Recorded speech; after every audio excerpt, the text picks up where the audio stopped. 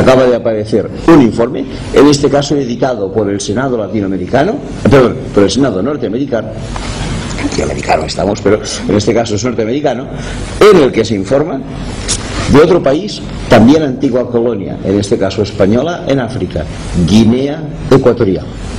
En Guinea Ecuatorial hay una enorme cantidad de petróleo y hay una empresa que lo explota.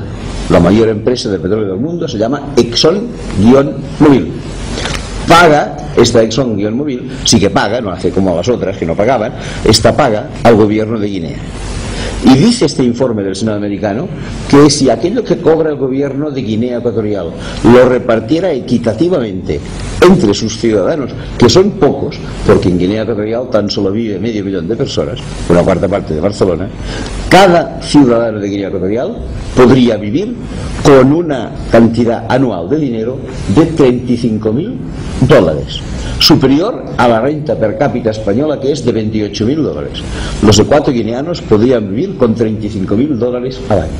¿Con cuánto viven? Con 500 dólares al año, según nos informa Naciones Unidas. Esto significa que alguien se queda los 33.500 dólares restantes. ¿Quién se los queda? Sigamos con el informe del Senado americano. El presidente, señor Teodoro Obiang Nguema, un sanguinario conocido en todo el mundo.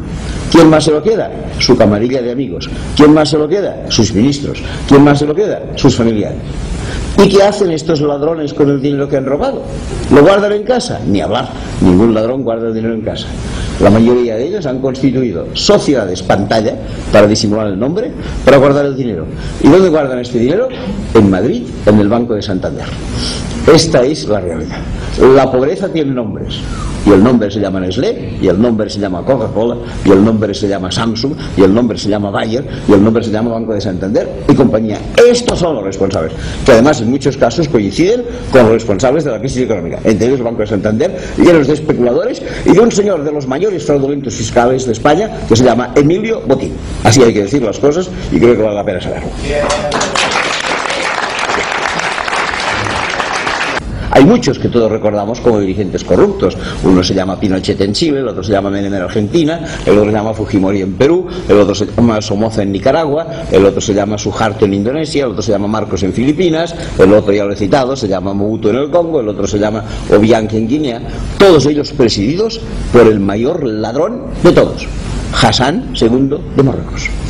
Cuando este hombre falleció hace 10 años, dejó en París, que no en Rabat, y a su nombre, que no a nombre de Marruecos, 50 mil millones de dólares. La misma fortuna privada que tiene hoy el señor Bill Gates, que es uno de los más ricos del mundo. Esto lo tenía él. Pero cuidado, mientras Hassan II tenía en París 50 mil millones de dólares, Marruecos debía en forma de deuda externa 20 mil millones de dólares. Su estimado monarca se había quedado dos veces y medio la deuda de eh, Marruecos. Y sin embargo su monarca era alguien perfectamente bien recibido en las cancillerías occidentales. Cuando Hassan II llegaba a Madrid, Juan Carlos decía, mi querido hermano, pues que vigile con la parentela, porque con gente de este estilo no se puede ir demasiado lejos. ¿Y qué pasa? Pues pasa algo más grave, que estos países han acumulado esta deuda y ahora deben pagarla. ¿Y qué significa deber pagar la deuda? ¿O tener que pagar la deuda? Igual que cuando nosotros tenemos una hipoteca. Significa, por un lado, hacer frente a los intereses y, por otro lado, hacer frente al retorno del capital. Cada año, lo que ellos nos envían a nosotros para pagar esta deuda, deuda que sus dirigentes tienen escondida en París o en eh, Madrid o donde sea, cada año para pagar esta deuda, estos países nos mandan una cantidad que oscila entre 5 y 6 veces más que la ayuda al desarrollo que nosotros podamos enviarles. Y la gente dice es que la ayuda al desarrollo no funciona. Llevamos 50 años ayudando y no crecen. ¿Cómo van a crecer si les damos uno y les quitamos seis? Esto es completamente imposible. Hay que perdonar la deuda. Y España puede perdonar la deuda. ¿Podría la señora Salgado perdonar la deuda y renunciar cada año a 900 millones de euros? Naturalmente. Si hiciera frente a algo muy importante, al fraude fiscal una universidad de Barcelona que se llama Pompeu Fabra elaboró no hace mucho un estudio sobre el fraude fiscal que los ricos cometen en España. ¿Cuánto estafan al fisco esta gente? 80.000 millones de euros al año. Y solo con 900 de estos 80.000 podríamos perdonarlo. estamos en manos de delincuentes. Y decirlo con toda verdad, estamos en manos de delincuentes. Y nada más que esto. Esta es... ¿Y cuál es el último problema? Pues sin duda la guerra. Estos países no solo están sometidos a explotación económica, sino a guerra. ¿Y de qué es consecuencia la guerra? Pues sencillamente de las armas. Si no hubiera armas, no habría guerras o se hacían con piedras o los 15 días hubieran terminado. Las armas se fabrican, se venden, se gana dinero en el norte, se sufren y se pagan en el sur. Y démonos cuenta de algo. El tráfico de armas es completamente inverso al tráfico de drogas. Las drogas se producen en el sur, se consumen en el norte. Las armas se producen en el norte, se consumen en el sur.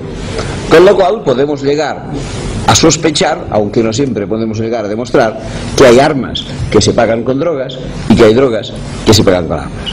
No siempre lo podemos acreditar, pero hay un caso en que sí que se puede acreditar.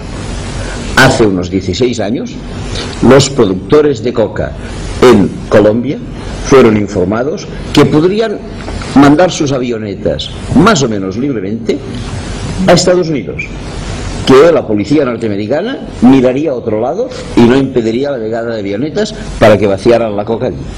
Pero el gobierno americano a cambio les pedía algo, que cuando hubieran vaciado las avionetas no las regresaran de vacío, que esperaran que ellos mismos se los cargarían de armas y estas armas deberían dejarlas en el viaje de regreso a Colombia a medio camino en Nicaragua para alimentar aquello que se llamaba en aquel momento la contra nicaragüense. Pero hay uno que fue el cerebro gris de la operación. Casi nadie sabía nada. ¿Cómo se llamaba este señor? Se llamaba Bob Gates, que no tiene nada que ver con eh, Bill Gates, y hoy en día es el ministro de Defensa del señor Barack Obama. Esta es eh, la situación de cómo funciona este mundo. Y en este mundo del tráfico de armas del tráfico de drogas, España ocupa un papel preponderante. Acaban de salir hace 15 días las estadísticas de comercio de armas en el mundo. España es el sexto país que más armas exporta en el mundo. Y una organización que todos conocemos, que se llama Intermon Oxfam, ha declarado que después de Estados Unidos, España es el país que más armas, perdón, armas más municiones vende a las guerras africanas. ¿Y qué sucede? Bueno, pues que si les pagamos mal el café, que si nos quedamos con su petróleo, que si después resulta que les cobramos la deuda externa abusivamente y si al final les mandamos armas para que tengan guerra, esta gente vive mal. ¿Cuál es el primer problema? Hugo lo ha dicho muy bien, algunos mueren por el camino y ya no llegan.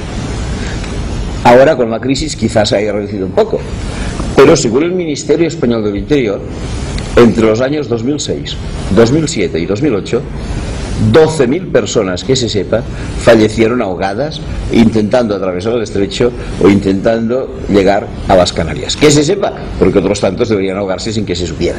12.000 que se sepa.